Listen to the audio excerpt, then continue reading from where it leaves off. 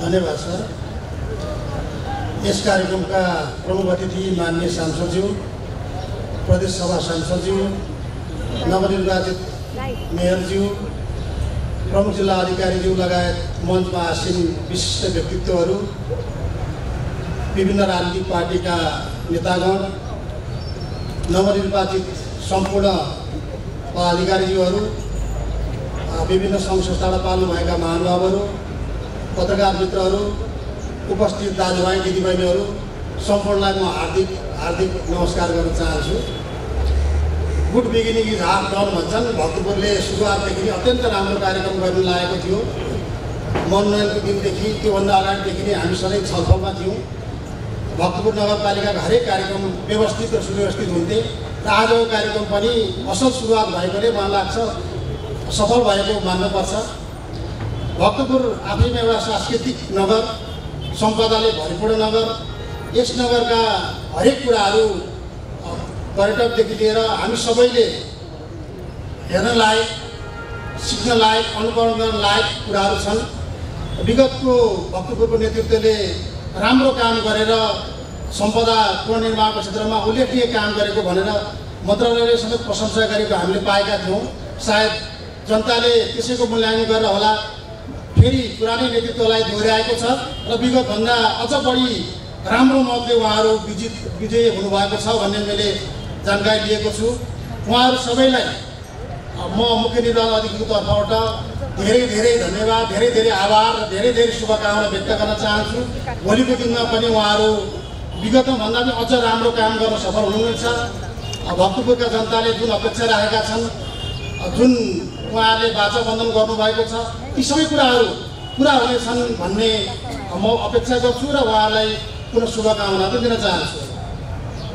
खास गरी निर्वाचनको दौरानमा धेरै कुराहरू हामीभित्रैबाट काम गर्दै जाँदाखेरि कतिपय कुराहरू कठिनाइका बावजुद पनि हामीले भक्तपुरको चुनावलाई एकदम निर्विघ्न रूपमा निर्वाध रूपमा सम्पन्न गऱ्यौँ म मुख्य निर्वाचन अधिकारी भएको नाताले अरू क्षेत्रको पनि मैले हेर्नुपर्ने थियो।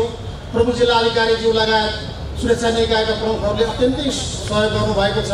उहाँहरू अहोरात्र खट्नु भएको छ। निर्वाचनलाई सफल पार्ने कुरामा राजनीतिक पार्टीहरू उम्मेदवारहरू सबैको ठुलो योगदान छ। त्यसैले म प्रमुख जिल्ला अधिकारीज्यू लगायत सम्पूर्ण निजामती जङ्गी प्रहरी कर्मचारीहरूलाई धेरै धेरै धन्यवाद र आभार व्यक्त गर्न चाहन्छु। निर्वाचनको क्रममा विगतको भन्दा अहिले निर्वाचनको निर्देशिका धेरै परिवर्तन भएको रहेछ। तपाईँहरूले देखिराख्नु भएको छ देशभरि मनोनयनदेखि लिएर मतगणनासम्मका कतिपय प्रक्रियाहरू कति जटिल देखिएका छन्। हाम्रा निजामती कर्मचारीहरू दसौँ दिनदेखि रातभरि नसुति नखाइकन काम गरिरहेका छन्। हिजो मात्र यही विषयमा प्रमुखसँग निर्वाचन आयुक्तसँग हामी पाँच सातजना न्यायाधीशहरूले गम्भीर छलफल गऱ्यौँ हामी जस्तो जुडिसियरीमा छुट्टै छवि बनाएका न्यायाधीशहरू पनि अर्को चुनावमा जानु नपर्ने परिस्थिति सिर्जना भयो भने के गर्नुहुन्छ? हामीले त्यति कडा शब्द पनि प्रयोग गर्यौँ। किनभने रातभरि मतगणना गर्दा पनि एउटा कर्मचारीले पाँच सयभन्दा बढी पैसा पाउने स्थिति देखिएन। यसरी त सकिँदैन। के मरेर त्यो काम गर्नुपर्छ र? हामीले कडा शब्द प्रयोग गरेपछि उहाँहरू फेरि युनियन बस्नुभयो र आजै हामी केही निर्देशिका परिवर्तन गर्छौँ भन्नुभएको छ। हाम्रा कर्मचारी हेर्नुहोस् त भक्तपुरमा सहज रूपमा हामीले कसरी गर्यो अब देख्नेले देखे होला होइन? हामीले राम्रो म्यानेज गरेर छिटै सक्यौँ। तर यति नै पोलिङ भएको देशभरिका क्षेत्रमा हेर्नुहोस् त आजको मितिसम्म पनि मतगणनाको परिणाम दिन सकिएको छैन। त्यो कर्मचारीको गल्तीले भएको होइन त्यो। त्यो मत त्यो त्यो प्रक्रियाको कारण त्यस्तो भइरहेको छ। हामी प्रक्रिया सुधार्न किन चाहँदैनौँ? हामी निर्वाचन प्रणालीको सुधार गर्न सक्दैनौँ किन संविधानमा लेखिएको छ। म सङ्घीय सांसद र प्रदेश सांसद पनि भएको ठाउँमा यो कुरा उठाउन चाहन्छु कि निर्वाचनको प्रक्रिया सुधार गरौँ। काठमाडौँमा पहिला इभिएम मेसिन प्रयोग गरिएको थियो नि त। मेसिन प्रयोग गर्दाखेरि यत्रो सारा कर्मचारी सारा जनता सारा प्रतिनिधिलाई दुःख त हुँदो रहेछ नि। मतगणनाको लागि तपाईँहरूको प्रतिनिधि रातारात दसौँ रात बस्नु परेको अवस्था छ। काठमाडौँमा अझै दस दिन सकिँदैन। यसरी सकिन्छ। मान्छे मरेर के सही हुने हो त्यो त्यसैको लागि त्यसैले प्रक्रिया सुधार गरौँ। प्रक्रिया सुधार गर्न हामीले सुधार पनि दिन सक्छौँ नि त। जस्तो इभिएम मेसिन ल्याउँ एउटा मेसिनबाट गरौँ।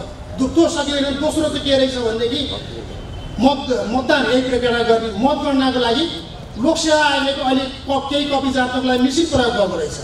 त्यस्तै मत मतगणनाको लागि मिसिन प्रयोग थाइल्यान्डमा भइरहेको रहेछ त्यस्तो हाम्रो प्रयोग गरौँ। लु त्यो पनि सकिन्छ अरे खर्च धेरै लाग्दो छ अरे अहिले यो प्रक्रियामा जाने हो भनेदेखि मैले भक्तपुरको सबै क्षेत्रको मतदाताको सूची अध्ययन गरेको छु। चार सय त्रिहत्तर एउटा केन्द्रमा छ सानो केन्द्रमा। ठुलो केन्द्र भनेको हजार छैसठी छ। हजार छैसठी भनेको अस्सी पर्सेन्ट खर्च भने पनि आठ सय साढे आठ सय हो। त्यहाँ हाम्रो कर्मचारी पाँचजना स्वयंसेवक तिनजना सुरक्षाकर्मी बाह्र पन्ध्रजना गर्दाखेरि ठुलो शक्ति छ त्यहाँ। एक हजार पोलिङ भएको ठाउँमा आठ सय खस्यो भनेदेखि आठ सय गर्नको लागि दुई घन्टामा त्यहाँको कर्मचारी सक्छ। नि त जहाँ मतदान भयो त्यही गर्नु। त्यसो गर्दा भोलिपल्ट रिजल्ट दिन सकिने रहेछ नि त। कुनै प्रक्रिया हामी परिवर्तन गर्न नसक्ने। परम्परागत रूपमा अगाडि बढिराख्ने अनि जनतालाई दुःख दिएको दिए दिएको दिए गर्ने तपाईँ हामी आवाज उठा उठाइ गर्ने काहीँ पनि यो समाधान नहुने। यस्तो गरेर त यो मरेर लानु छैन। यो कुरा चाहिँ हामीले गम्भीर रूपमा उठाउन चाह चाहन्छौँ। म सांसद प्रेम सुवालजीलाई यो कुरा चाहिँ संसदमै उठाउन पनि अनुरोध गर्छु। यसरी हुँदैन है भन्ने कुरा उठाउनुपर्छ।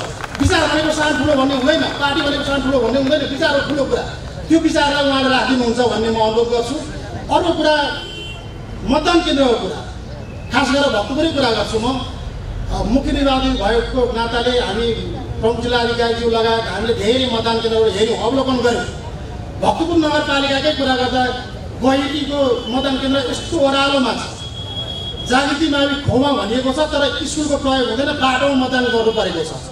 कमल विनायकको सरस्वती विद्यागृहमा एकदम ठुलो फिल्ड त छ। स्कुलको प्रयोगै हुँदैन। त्यो स्कुल त भनिएको छ स्कुलको प्रयोग हुँदैन फिल्ड छ। पानी पराउने यति पानी जम्दो छ त्यहाँ। अनि बर्खाको बेलामा जस्तो जेठासम्म चुनाव हुने भयो भने त त्यो खुला ठाउँले त झन् समस्या हुन्छ। त्यसले गर्दाखेरि अझ अरूको यो नगदेश र मध्य छिमेको हेर्ने हो भने त साना साना पार्टीहरूमा पाँचवटा छवटा केन्द्र छ। लोकन्थलीको उपसभापति बाटो यत्रो यत्रो छ छ हजार पोलिङ छ त्यस्तो समस्या भएको हुनाले अब फेरि भोलि कार्तिकमै चुनाव आउँदैछ नि त। त्यसको लागि मतदान केन्द्रहरू पनि सुधार गर्नको लागि कहिलेदेखि पहल गर्नु जरुरी भन्ने देखिएको छ। हामीले पनि गम्भीर रूपमा यसमा छलफल गर्न चाहन्छौँ।